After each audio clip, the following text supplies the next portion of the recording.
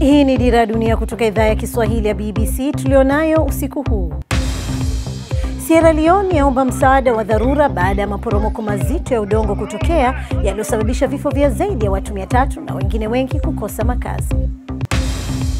Licha ya Korea Kusini kusema iko tayari kurusha makombora, Rais Jong Un aonekana televisheni ya taifa akisema anaivutia pumzi Marekani kwa sasa. Ni miaka sabini sasa tangu Lord Mountbatten wa hapo Uingereza alipoigawa India na Pakistan ambayo awali lilikuwa taifa moja. Na katika michezo hii leo ni maadhimisho ya miaka 25 tangu kuanza ligi kuu ya England. Je, watu wanaitazama vipi ligi hiyo? moja kwa moja imesapoti kutusukuma sisi hapa tuwe tuamke kimpira ni kisoka na ndio maana sasa mpaka watoto wadogo, kuna academy nyingi sana za mpira kutoka na ligi ya Uingereza imetupa mwamko yani.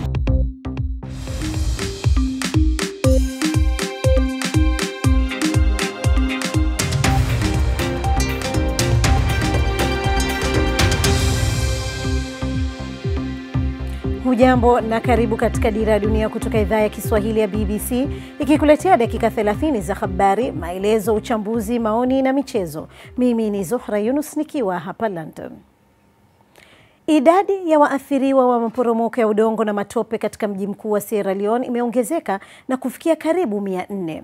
Mwandishi wa BBC katika eneo la milimani la wilaya ya Regent ya mji mkuu Freetown anasema miili zaidi ya mia moja imefukuliwa kwenye vifusi siku ya Jumanne na maiti zinaendelea kupatikana katika kile anachokielezea kuwa operesheni isiyo na mpangilio mzuri. Rais wa Sierra Leone Ernest Bai Koroma ametoa wito wa kutaka msaada wa dharura ili kusaidia nchi yake kupambana na kile alichokiita maangamizi makubwa. Chama Omar Matata ana maelezo zaidi. Kilima kiliporomoka katika mmomonyoko wa matope yakizizika familia wakati zikilala. Ilikuwa ni maangamizi kamili ya ghafla, yakiwaacha wachache walionusurika. Wale walioweza kuepuka wanapatazama mahala walipokuwa wakiishi kwa shauku ya kupata habari njema, lakini haziji kamwe habari hizo. Mtu huyu alipoteza watu wanane katika familia yake. Niliona kwanza mwili wa dada yangu na nikawaita watu kunisaidia, na tukamlaza chini, na nikaanza kuwasikia watu wengine karibu yetu wanalia. Nimepoteza familia yangu yote. Mafuriko ya maji ya matope yalitiririka kwa wingi katika mitaro na mitaani, yakisababisha vifo zaidi na kuzuia operesheni za kuokoa watu katika maeneo yaliyoathiriwa vibaya sana. Sierra Leone imezoea mafuriko wakati wa majira ya mvua, lakini siyo mafuriko kama haya. Yameacha uharibifu mkubwa wa kutatanisha na operesheni ngumu na ya polepole ya kuokoa watu. Majumba yalijengwa kinyume cha sheria katika kilima hiki dhaifu, na hakuna ajuaye miili mingapi itapatikana. Ikipatikana, watu wengi wanajaa kuona kama wanaitambua familia au rafiki. Wakuu wa serikali wanajaribu kuwaondoa watu. Let me urge everyone to remain calm. Wacha ni musihi kila mmoja awe shwari na kuepuka maeneo dhaifu ya maafa, huku tukiendelea kushughulikia dharura hii kabambe. Watu hawa walikuwa na kiasi kidogo cha kutosha kabla ya maafa haya. Watu wasiopungua elfu tatu wanafikiriwa hawana nyumba. Vyanzo vya maji safi vimechafuliwa na magonjwa yamekuwa ni kitisho halisi. Mashirika ya misaada yanajaribu kuzuia maafa haya kuzidi kuwa mabaya. Wasiwasi wetu mkubwa sasa ni ukosefu wa nyumba, hasa kwa maisha ya familia waliowachwa bila kitu kabisa, na watoto sasa ni dhaifu zaidi. Haya yamekuwa majira mabaya ya mvua kwa Sierra Leone na hayajaisha bado. Chama Umari Matata, BBC. Na ukitaka maelezo zaidi kuhusu taarifa hiyo na nyingine nyingi tu unaweza kuyapata kupitia simu yako ya mkononi bbcswahili.com. Na sasa tuangazie taarifa nyingine zinazogonga vichwa mbalimbali vya habari duniani kwa wakati huu. Mke wa Rais Mugabe, Grace Mugabe, bado hajafika mahakamani nchini Afrika Kusini kujibu mashtaka ya kushambulia. Polisi wanasema hawajui mahala alipo. Awali, waziri wa polisi Fikile Mbalula alisema Bibi Mugabe hakukamatwa kwa sababu alishirikiana na wakuu wa polisi. Bi Mugabe anasemekana alimpiga mlimbwende usoni wakati wa mzozano katika hoteli moja mjini Johannesburg. Uchunguzi wa BBC umesikiliza ushahidi kutoka kwa watu wa nchi za magharibi wanaosema walishuhudia kutoroshwa kwa prince mmoja muasi wa Saudi Arabia ambaye alirejeshwa kwa nguvu nchini mwake kutoka Ulaya. Mashahidi hao walikuwa katika msafara wa Prince Sultan bin Turki bin Abdul Aziz katika kile walichofikiria kuwa safari ya ndege kuelekea Cairo mwaka jana. Badala yake ndege hiyo binafsi ilitua nchini Saudi Arabia. Umoja wa Ulaya unasema mpango wa Uingereza wa kuunda muungano wa forodha wa muda baada ya Uingereza kutoka kabisa katika Umoja wa Ulaya ni hatua nzuri itakayoziruhusu pande zote mbili kuleta maendeleo. Katika taarifa yake, tume ya Ulaya ilionya kuna ratiba finyu ya kufikia mapatano. Mpatanishi mkuu wa Umoja wa Ulaya Michel Barnier alisema mazungumzo kuhusu biashara siyo ya kupewa kipaumbele na yasubiri mpaka hapo makubaliano yatakapokuwa yamefikiwa kuhusu masuala kama vile haki za raia. Televisheni ya taifa ya Korea Kaskazini inasema Rais Kim Jong Un amepitia upya mipango ya kurusha makombora katika eneo linalomilikiwa na Marekani la Guam, lakini atasubiri kwa sasa. Japo wanasema wako tayari, taifa hilo linasema kwanza litawatizama kama alivyoita Wamarekani wapumbavu kabla ya kuchukua uamuzi. Huku hayo yakiendelea, rais wa Korea Kusini Moon Jae-in amesema hakuna hatua zozote za kijeshi zitakazochukuliwa bila idhini yake na kwamba atazuia vita kwa namna yoyote ile. Esther Kahumbi anaarifu. Mbele yake ni mipango ya kuishambulia Marekani. Picha hizi zinaonyesha Kim Jong Un akitizama ramani ya bahari ya Pacific. Unaona vizuri mstari mweusi kutoka taifa lake moja kwa moja hadi Guam, eneo linalomilikiwa na taifa la Marekani ambalo wanajeshi wa Korea Kaskazini wanatishia kulenga kwa mashambulio. Lakini ameamua kusubiri kwanza. Ripoti zinasema kiongozi huyo anataka kwanza kutizama zaidi mienendo ya kipumbavu ya Wamarekani. Pale Guam penyewe kidogo kuna afueni na heshima kwa kiongozi wao. Nadhani zaidi ni kwa sababu ya msimamo thabiti uliotolewa na Rais Trump, lakini pia Waziri Tillerson na Mattis. Lakini katika mstari wa mbele katika mvutano huu kati ya Korea Kaskazini na Marekani, baadhi wanaona kwamba Trump hasaidii kumaliza uhasama uliopo. Trump anawaghadhabisha wananchi wengi wa Korea Kusini. Maamuzi na sera zake haziwafai hata Wamarekani.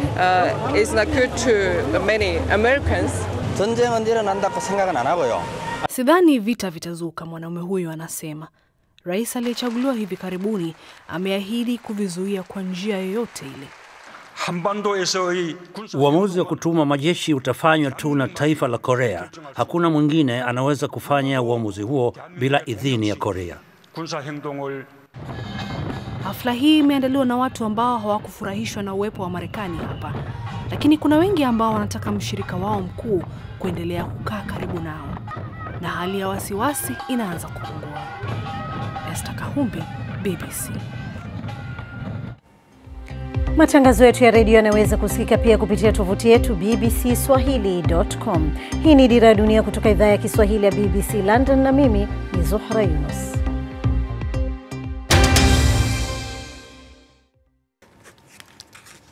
Hii ni Dira ya Dunia kutoka idhaa ya Kiswahili ya BBC. Mimi ni Zuhra Yunus. Habari kuu usiku huu Idadi ya watu waliofariki kutokana na maporomoko ya udongo na matope katika mji wa Freetown nchini Sierra Leone imeongezeka na kufikia karibu 400. Miili zaidi ya 100 imefukuliwa kwenye vifusi leo hii na maiti zinaendelea kupatikana. Televisheni ya taifa ya Korea Kaskazini inasema Kim Jong Un amepitia upya mipango ya kurusha makombora katika eneo la Guam linalomilikiwa na Marekani. Hata hivyo, atasubiri kwa sasa. Wanaangalia wa Marekani kabla ya kuchukua uamuzi.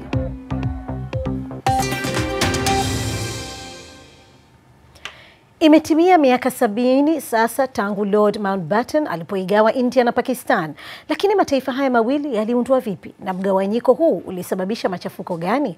Mariam Omar anatufahamisha. Miaka sabini iliyopita Uingereza iliondoka India na kumaliza utawala wa Uingereza, nchi ambayo walikuwa wakiona kama kito chenye thamani kubwa katika taji la himaya ya Uingereza. Uingereza iliigawa na kuwa nchi mbili zenye kujitawala zenyewe, lakini ugawaji huu ulisababisha maafa makubwa katika karne ya ishirini. India ilikuwa ni nyumbani kwa takriban watu milioni mia nne Wahindu wakiwa ndio wengi zaidi na Waislamu walikuwa robo ya watu nchini humo. Nehru ambaye alikuwa ni waziri mkuu wa kwanza wa India alikataa sana kugawa nchi hiyo kwa misingi ya kidini, lakini Jinnah ambaye alikuwa gavana jenerali wa Pakistan alisisitiza kuwa Waislamu wanahitaji kuwa na taifa lao wenyewe. Afisa mmoja wa Uingereza alisema mgawano na uhuru umekuja wakati mmoja na mmoja kwa bei nyingine. Lord Mountbatten ambaye ni jamaa wa familia ya kifalme nchini Uingereza alipewa kazi ya kuitoa nchi hiyo kutoka katika koloni lake kubwa sana. Aliamua kufanya hivyo kwa haraka sana. Mstari ukapigwa na kuigawanya India katika kipindi cha wiki tano tu. Mwezi Agosti mwaka 1947 Pakistan ilisherehekea uhuru wake na baadaye India.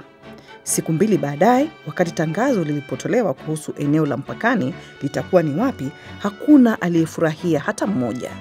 Jina alilalamika kuwa yeye amepewa eneo la Pakistan lililo bovu sana, huku kilomita elfu mbili ziko ndani ya India baina ya nchi hizi mbili. Mwaka 1971 Pakistan Mashariki ikapata uhuru wake na kuwa taifa la Bangladesh.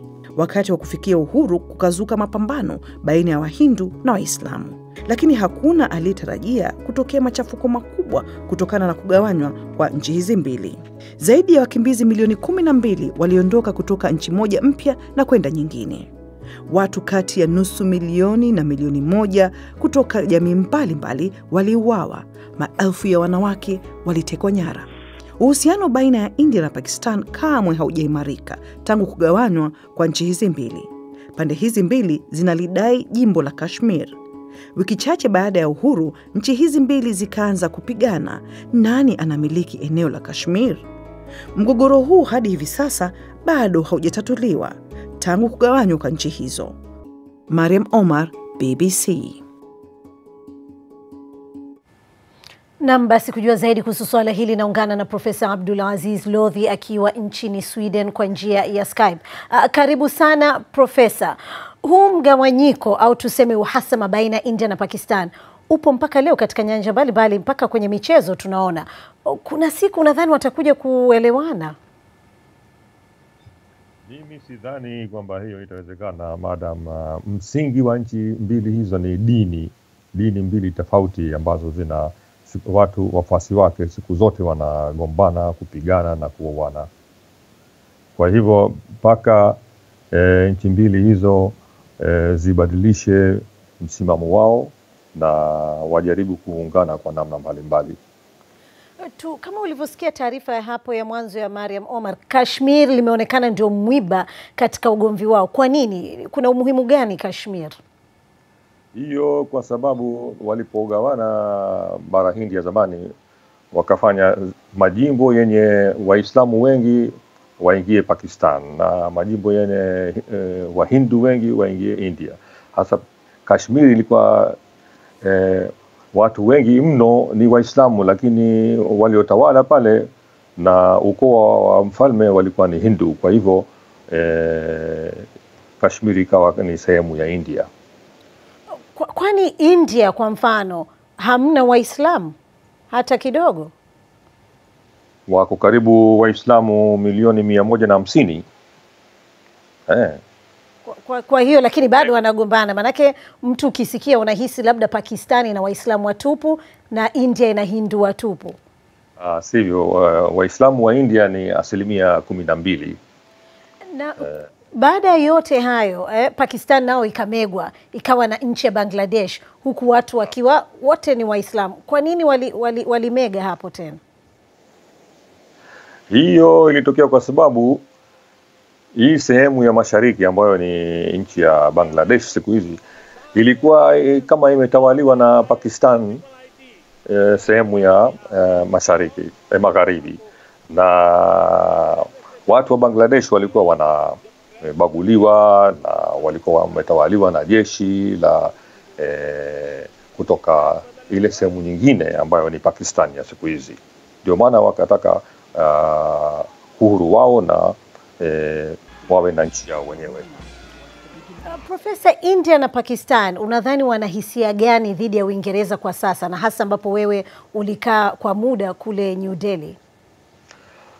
Ah, siku hizi kwa sababu ni wachache mno eh, ambao eh, waliopata kuona o, ukoloni wa Uingereza wako hai. Kwa hivyo ni wasomi tu ambao bado wanaendelea eh, kuwa na chuki na eh, uhasama baina eh, dhidi ya Uingereza, lakini watu wengi mno hawajui historia yao siku hizi na wanaona Uingereza ndio e, nchi iliyoendelea na hawajui e, mambo yaliyotendwa na Waingereza zama za ukoloni katika bara Hindi.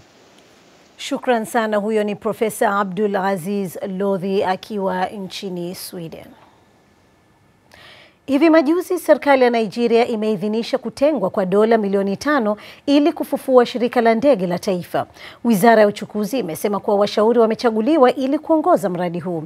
Pia imepinga uvumi kwa mashirika ya ndege ya Arik Air na Aero zilizochukuliwa na serikali ndani ya mwaka uliopita zitaimarishwa ili kuunda shirika la ndege la taifa la Nigeria.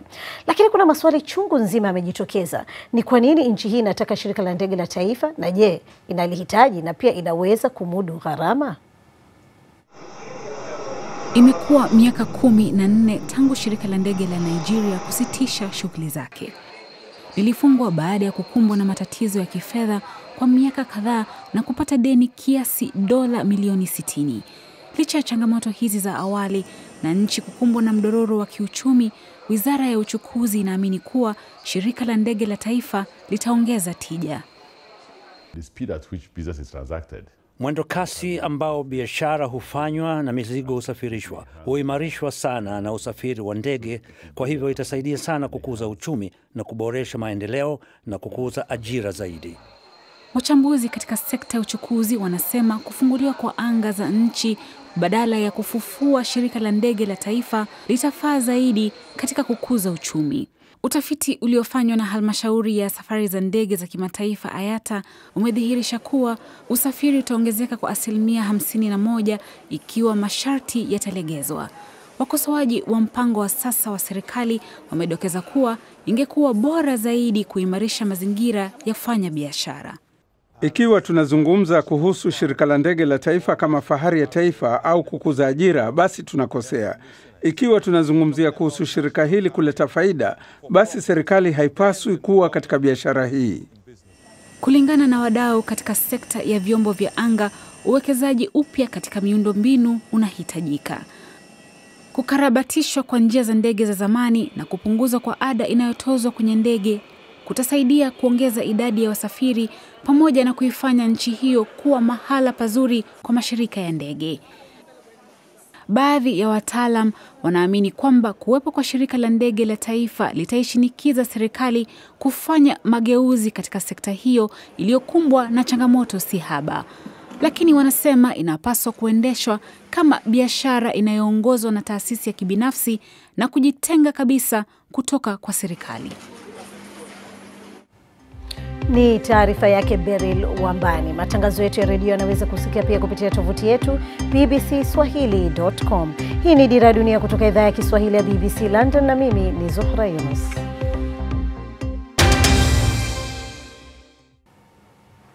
Karibu tena katika Dira ya Dunia, na sasa moja kwa moja kwake Dai Yusuf na taarifa za michezo. Karibu Dai. Asante sana Zuhra. Naam, nchini Kenya wanariadha wampokewa nyumbani kwa mbwembwe baada ya kunyakua medali nyingi na kuibuka wa pili katika jedwali ya mashindano ya kimataifa ya riadha yaliyomalizika hapa London.